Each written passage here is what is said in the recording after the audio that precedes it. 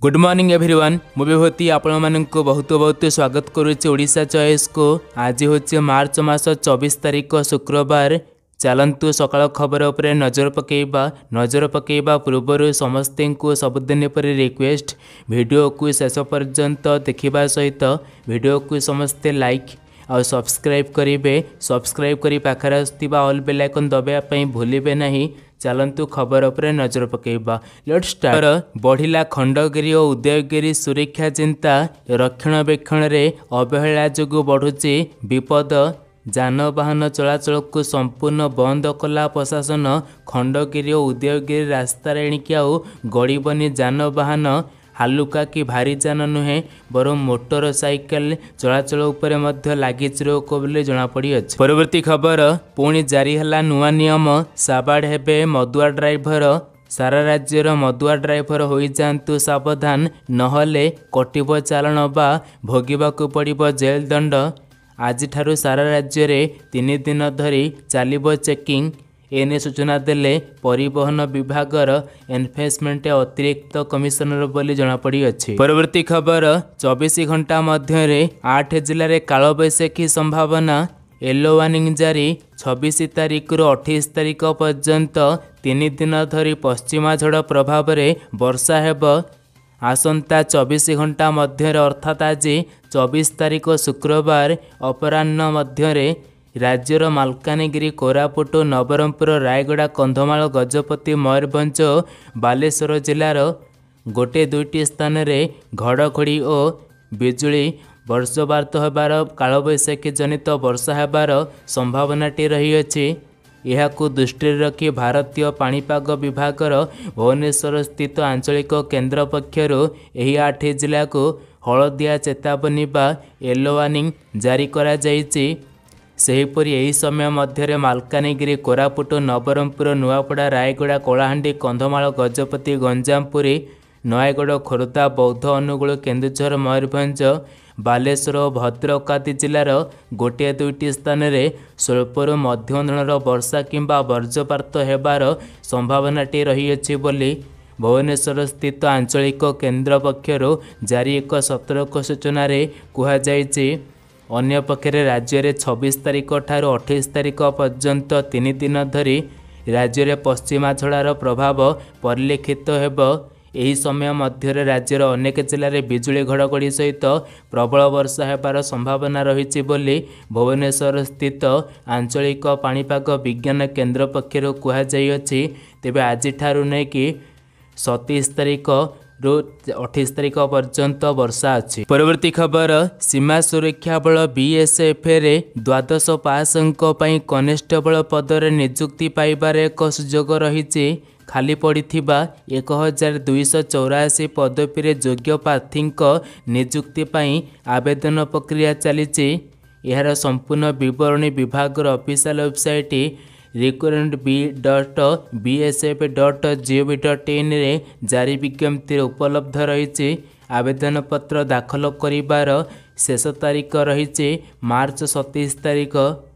ମୋଟ ଏକ ହଜାର ଦୁଇଶହ ଚଉରାଅଶୀ ପଦବୀ ନିମନ୍ତେ ବାରଶହ ପଦବୀ ପୁରୁଷମାନଙ୍କ ପାଇଁ ଏବଂ ଚଉଷଠି ପଦବୀ ମହିଳାମାନଙ୍କ ପାଇଁ ରହିଅଛି। ପରବର୍ତ୍ତୀ ଖବର ବ୍ୟାଙ୍କରେ କାମ ଥିବା ଲୋକମାନେ ତୁରନ୍ତ କାମ ସାରି ଦିଅନ୍ତୁ। କାହିଁକିନା ଏପ୍ରିଲ ମାସରେ ପନ୍ଦର ଦିନ ବ୍ୟାଙ୍କ ବନ୍ଦ ରହିବ।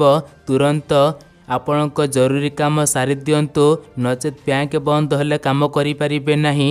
ପ୍ରତି ମାସ ଭାରତୀୟ ରିଜର୍ଭ ବ୍ୟାଙ୍କ ତରଫରୁ ବ୍ୟାଙ୍କ ଛୁଟି ତାଲିକା ଜାରି କରାଯାଇଥାଏ। ଏହି କ୍ରମରେ ଏବେ ରିଜର୍ଭ ବ୍ୟାଙ୍କ ତରଫରୁ ଏପ୍ରିଲ ମାସରେ ବ୍ୟାଙ୍କର ଛୁଟି ତାଲିକା ପ୍ରକାଶ ପାଇଛି। ଏପ୍ରିଲ ମାସରେ ଦେଶରେ ଅନେକ ଗୁଡ଼ିଏ ପର୍ବପର୍ବାଣି ରହୁଛି। ଏହିଭଳି ଭାବେ ଏପ୍ରିଲ ମାସରେ ମୋଟ ପନ୍ଦର ଦିନ ବ୍ୟାଙ୍କ ବନ୍ଦ ରହିବ। ଯଦି ଆପଣଙ୍କର ବ୍ୟାଙ୍କ ସହିତ ଜଡ଼ିତ କିଛି କାମ ରହିଯାଇଛି ତେବେ ତୁରନ୍ତ ସାରିଦିଅନ୍ତୁ ରିଜର୍ଭ ବ୍ୟାଙ୍କ ଛୁଟି ତାଲିକା ମୁତାବକ ଏପ୍ରିଲ ମାସରେ ଘରୋଇ ଓ ଜାତୀୟକରଣ ବ୍ୟାଙ୍କଗୁଡ଼ିକ ମୋଟ ପନ୍ଦର ଦିନ ଛୁଟି ରହିବ। ପରବର୍ତ୍ତୀ ଖବର ଘରୋଇ ଉପଭୋକ୍ତାଙ୍କ ଆଶ୍ୱସ୍ତି ଏ ବର୍ଷ ବଢ଼ିବନି ବିଦ୍ୟୁତ ଦର ବଢ଼ିବନି ବିଦ୍ୟୁତ ଦର ଦୁଇହଜାର ତେଇଶ ଚବିଶ ବର୍ଷ ପାଇଁ ବିଦ୍ୟୁତ ଦର ଅପରିବର୍ତ୍ତିତ ରଖିଲେ ଓ ଇ ଆର୍ ସି ଏନେ ପ୍ରେସ୍ ମିଟ୍ରେ ସୂଚନା ଦେଇଛନ୍ତି ଓଇଆର୍ସି ଘରୋଇ ଉପଭୋକ୍ତାଙ୍କ ପାଇଁ ବିଦ୍ୟୁତ୍ ଦର ଅପରିବର୍ତ୍ତିତ ରହିଛି।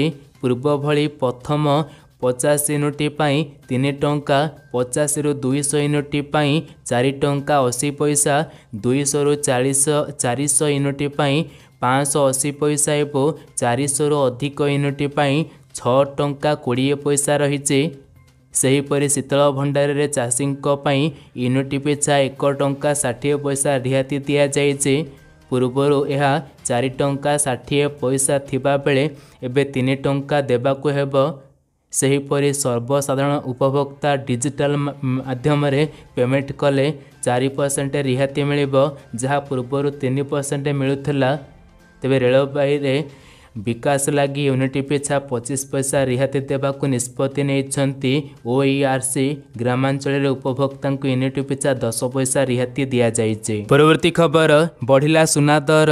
ଆଜି ଭାରତୀୟ ବଜାରରେ ବାଇଶ କ୍ୟାରେଟ୍ ସୁନା ଦଶ ଗ୍ରାମକୁ ତେପନ ହଜାର ସାତଶହ କୋଡ଼ିଏ ଚବିଶ କ୍ୟାରେଟ୍ ସୁନା ଅଠାବନ ହଜାର ଛଅଶହ ଚାଳିଶ ସେହିପରି ଓଡ଼ିଶାର ରାଜଧାନୀ ଭୁବନେଶ୍ୱର ଆଜି ବାଇଶ ଓ ଚବିଶ କ୍ୟାରେଟ୍ ସୁନା ଦଶ ଗ୍ରାମକୁ ଚଉବନ ହଜାର ଦୁଇଶହ ଅଣଷଠି ହଜାର ଶହେ ଚାଳିଶ ଟଙ୍କା ରହିଅଛି। ପରବର୍ତ୍ତୀ ଖବର ଚାରି ବର୍ଷ ତଳର ମାମଲାରେ ରାହୁଲଙ୍କୁ ଜେଲ୍ ଦୁଇ ମିନିଟ୍ ପରେ ବେଲ୍ ଚାରି ବର୍ଷ ତଳର ମାମଲାରେ ରାହୁଲଙ୍କୁ ଜେଲ୍ ଦୁଇ ମିନିଟ୍ ପରେ ବେଲ୍ ମାନହାନି ମାମଲାରେ କାଲି ରାହୁଲ ଗାନ୍ଧୀଙ୍କୁ ସୁରଟ ଜିଲ୍ଲା କୋର୍ଟ ଦୁଇ ବର୍ଷ ଜେଲ୍ ଦଣ୍ଡାଦେଶ ଦେଇଥିଲେ ତେବେ ଏହାର ଦୁଇ ମିନିଟ୍ ପରେ ବେଲ୍ ପାଇଥିଲେ ରାହୁଲ ଗାନ୍ଧୀ।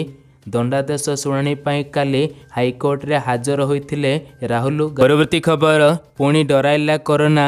ଦେଶରେ ଦିନକରେ ରେକର୍ଡ ସଂଖ୍ୟକ ତେରଶହ ନୂଆ ସଂକ୍ରମିତ ପୁଣି ଡରାଇଲାଣି କରୋନା। ଦେଶରେ ଦିନକରେ ରେକର୍ଡ ସଂଖ୍ୟକ ତେରଶହରୁ ଅଧିକ ସଂକ୍ରମିତ ଚିହ୍ନଟ ଯାହାକି ଶହେ ଚାଳିଶ ଦିନରେ ସର୍ବାଧିକ ଦୈନିକ କରୋନା କେସ୍ ଗତ ଚବିଶ ଘଣ୍ଟାରେ କରୋନାରେ ଯାଇଛି ତିନି ଜଣଙ୍କ ଜୀବନ। କର୍ଣ୍ଣାଟକ ଗୁଜୁରାଟ ଓ ମହାରାଷ୍ଟ୍ରରେ କୋଭିଡରେ ଜଣେ ଲେଖାଏଁ ମୃତ୍ୟୁ ଘଟିଥିବା କେନ୍ଦ୍ର ସ୍ୱାସ୍ଥ୍ୟ ମନ୍ତ୍ରାଳୟ ପକ୍ଷରୁ କୁହାଯାଇଅଛି। ପରବର୍ତ୍ତୀ ଖବର ପଡ଼ୋଶୀ ଦେଶ ପାକିସ୍ତାନରେ ପୁଣି ଥରେ ଭୂକମ୍ପ ଝଟକା ଅନୁଭବ ହୋଇଛି। ତେବେ ଫୈସଲାବାଦ ଏବଂ ଏହାର ଆଖପାଖ ଅଞ୍ଚଳରେ ଲୋକମାନେ ଭୂକମ୍ପ କମ୍ପନ ଅନୁଭବ କରିଥିଲେ। ଗୁରୁବାର ସନ୍ଧ୍ୟାରେ ଚାରିଟା ଅଠତିରିଶ ମିନିଟରେ ଭୂକମ୍ପ ହୋଇଥିବା ସୂଚନା ଆସିଅଛି। ଭୂକମ୍ପର ତୀବ୍ରତା ଚାରି ଦଶମିକ ଆଠ ରହିଅଛି। ପରବର୍ତ୍ତୀ ଖବର ମମତା ବାନାର୍ଜୀ କହିଲେ ଓଡ଼ିଶାର ଅତିଥ୍ୟ ଅତିଥି ଉଚ୍ଚକୋଟୀର ମୋତେ ବହୁତ ଖୁସି ଲାଗିଲା। ନବୀନଙ୍କୁ ଭେଟି ପ୍ରତିକ୍ରିୟା ରଖିଲେ ମମତା।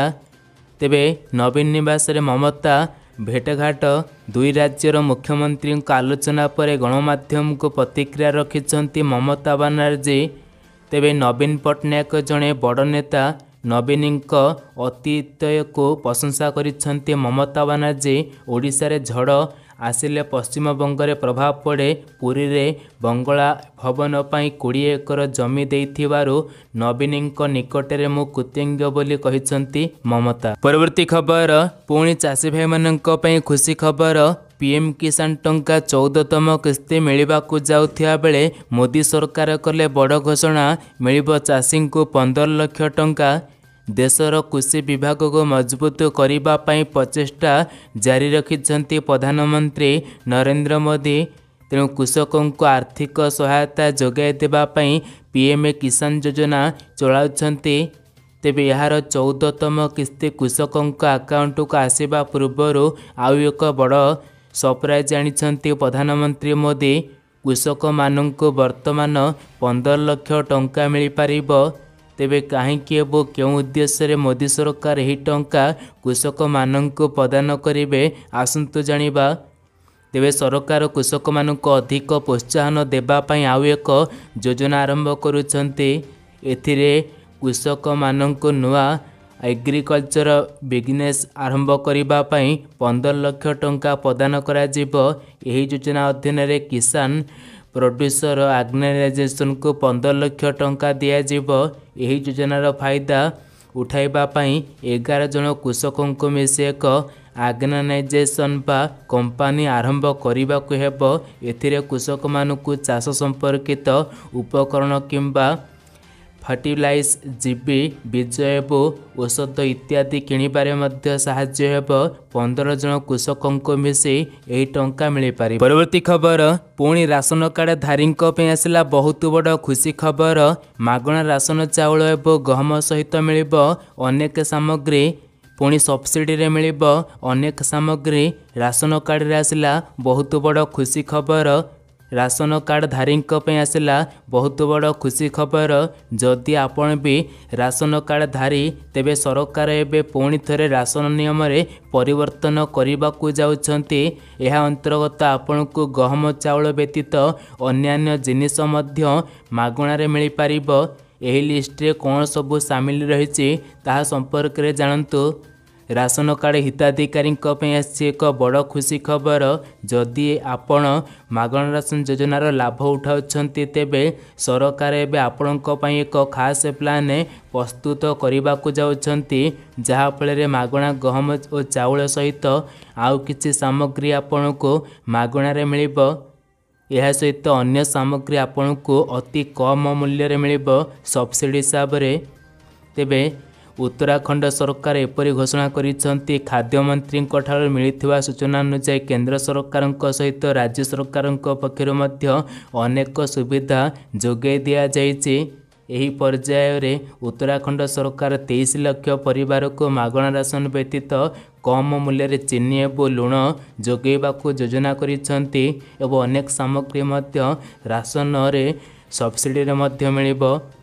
ତେବେ ସୂଚନା ରହୁଅଛି ତେବେ ଚିନି ଉପରେ କିଲୋଗ୍ରାମ ପିଛା ଦଶ ଟଙ୍କା ସବସିଡ଼ି ଦେବାକୁ ପରାମର୍ଶ ଦିଆଯାଇଛି ଏବଂ ତେଲ ଲୁଣ ଉପରେ ମଧ୍ୟ ସବସିଡ଼ି ମିଳିବ ବୋଲି ଜଣାପଡ଼ୁଅଛି।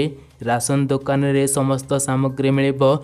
ଯାହାକି ସୂଚନା ରହୁଅଛି କି ପୁଣି ଖୁବ୍ ଶୀଘ୍ର ସମସ୍ତ ରାଜ୍ୟରେ ଏପରି ବ୍ୟବସ୍ଥା ଲାଗୁ ହୋଇପାରେ ବୋଲି ଜଣାପଡ଼ୁଅଛି। ଏବେ ଉତ୍ତରପ୍ରଦେଶରେ ଲାଗୁ ହୋଇଛି। ପରବର୍ତ୍ତୀ ଖବର ଆସିଲା କାଳିଆ ଚାଷୀ ଭାଇମାନଙ୍କ ପାଇଁ ଖୁସି ଖବର। ଅପେକ୍ଷାର ଅନ୍ତ କାଳିଆ ଚାଷୀଙ୍କ ଖାତାରେ ମିଳିବ ଦୁଇ ହଜାର ଟଙ୍କା ଏବଂ ବାର ହଜାର ପାଞ୍ଚଶହ ଟଙ୍କା ଭୂମିହୀନ ଚାଷୀଙ୍କୁ ଆସିଲା ବଜେଟ୍ରେ ବଡ଼ ଘୋଷଣା ଚାଷୀଙ୍କ ଖାତାରେ ମିଳିବ କାଳିଆ ଯୋଜନା ଟଙ୍କା। ଏଥିପାଇଁ ଏକ ନୂଆ ଲିଷ୍ଟ ଜାରି କରାଯାଇଛି। ଏକ ବଡ଼ ପରିବର୍ତ୍ତନ କରାଯାଇଛି। କାଳିଆ ସବୁ ଚାଷୀ ଭାଇମାନଙ୍କ ପାଇଁ ଯାହା ରହିଛି ଏବେ କାଳିଆର ସମସ୍ତ ହିତାଧିକାରୀଙ୍କୁ ମିଳିବ ଦୁଇ ହଜାର ଟଙ୍କା। ଏଥିପାଇଁ ସବୁ ଚାଷୀଙ୍କୁ ଇ କେ ୱାଇ ସି ଏବଂ ବ୍ୟାଙ୍କରେ ଆପଣଙ୍କର ଆଧାର ଲିଙ୍କ ଭେରିଫାଇଡ଼୍ କରିବା ପାଇଁ ଏବଂ କାଳିଆ ପୋର୍ଟାଲରେ ଭେରିଫାଇଡ଼୍ କରିବା ପାଇଁ କୁହାଯାଇଅଛି ଯାହାଫଳରେ ପ୍ରକୃତ ଚାଷୀ କାଳିଆ ଯୋଜନା ଟଙ୍କା ପାଇପାରିବେ ସେଥିପାଇଁ ଏବେ ଭେରିଫିକେସନ୍ ପ୍ରକ୍ରିୟା ଜାରି ରହିଅଛି।